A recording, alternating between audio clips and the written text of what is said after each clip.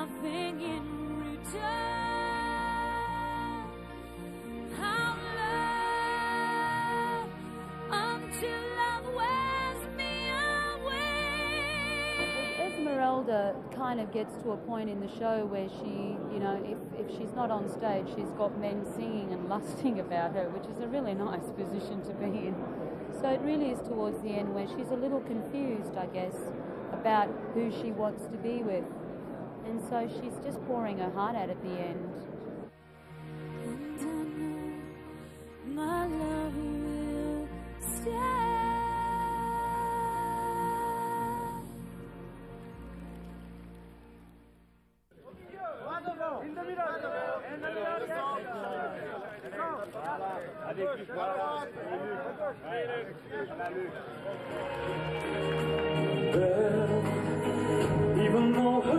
Her eyes seem to lead us to hell, she may be more pure, more pure than words can tell.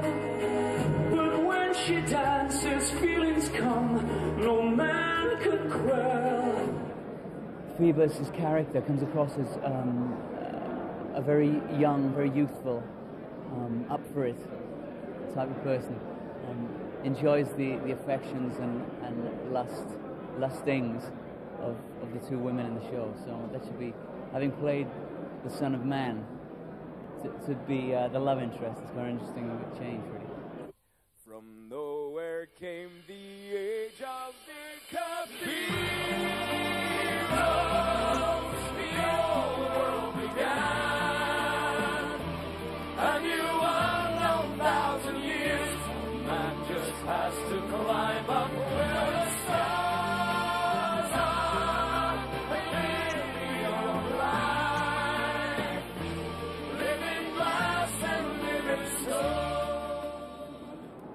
There's always pressure on everyone, you know, because it's been so successful. But we're going into the, we're going into the English market, and it's a whole new thing, and it's starting again for everyone. You know, I mean, the success that it's had previously is really almost irrelevant when you walk into the West End. It's a new show, and look, we're really excited. We're all really nervous, but we believe in it, and we just hope that the English audience love it as much as we love it as well.